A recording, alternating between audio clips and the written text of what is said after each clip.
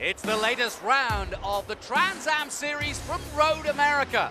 The biggest field of TA cars of the season gather together at this iconic track for more great racing from Trans Am.